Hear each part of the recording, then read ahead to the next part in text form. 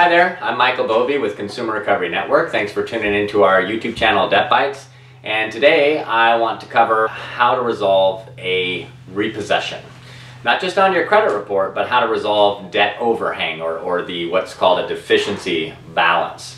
What's owed after you either voluntarily turn in a car that you haven't paid off fully, or if they come and take it from you. It's a repossession either way, voluntary or involuntary.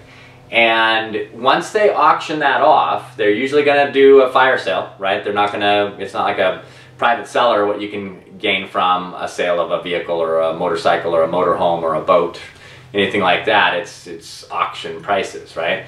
So they're going to get in often enough, they're going to get less than what you currently owe on the loan. So they'll take what they get at the auction, subtract it from the balance of your note or your loan with them, and then what's left over is called the deficiency balance. That deficiency balance is something that will still show as owed on your credit report from the servicer or the financing company. That kind of debt is often sold off to debt buyers or placed with external third-party collections even though it's still owned by the finance company.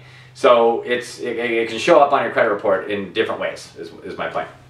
When that's showing on your credit report, it is impacting your ability to move on with your life once you bounce back financially.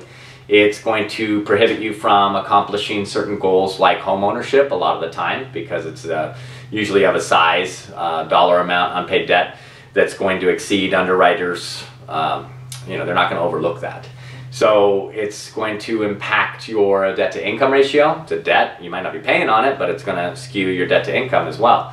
So there's all kinds of reasons to look at resolving deficiency balances and not just waiting for those things to roll off of your credit report. And by the way, you can be sued on deficiency balances as well, so that's another motivator. What options exist? Well, payment plans, okay? So uh, if you need a payment plan, it's something that you have to discuss with the servicer, with the finance company, the debt collector, the new debt owner most of these guys are all approachable. It just has to be something that's conceivable for them. It's got to be something that, um, you know, if all you're going to send them is $15 a month on a $12,000 deficiency balance, they're not going to do it. Uh, but if you can meet in the middle and come to some kind of arrangement for monthly payments, they're going to be really easy to talk to about that. However, I'm a big fan of just ripping the band-aid off at that point, not picking at the corners. And what I mean by that is, is that you've already had the repo show up on your credit report and it's damaged to that extent. You don't get brownie points really at this point by paying the whole deficiency balance uh, completely. So I'm really uh, more prone to advising you to gather up whatever funds you can to get a settlement done. Now, how much should you target? Well, it varies. It really is going to depend on who you're dealing with. Uh, if it's is, is, it Ford Motor? Is it Honda? Is it um, Nissan? Is it some uh, smaller kind of used car type of dealer? Is it a debt buyer? Are you able to work with a third party agency and come to terms with this? Those kinds of changes of what you can target are who it is, and then sometimes how long it's been. So if this thing was auctioned off two, three, four years ago, uh, sometimes you're going to find it's easier to target lower settlement options, lower uh, amounts of money to resolve it. When you negotiate, no matter who it is out of all of those lists of who you might possibly have to contend with, always get it in writing. You do the negotiation over the phone, but you do not release a penny of your money until you have it documented. So once you negotiate what it is you can do and you're comfortable with it and you can afford to follow through with it, then get it either faxed to you or mailed to you in writing. Review. I have a article up on our website that kind of highlights all the things that are, you want to see in a settlement agreement letter um, for unpaid debt. That kind of covers your butt. They're going to make sure everything's in the letter that covers theirs. You want to make sure that you've got everything on there that covers yours. So um, we'll have that above. You can click that, read up on debt settlement agreements and letters.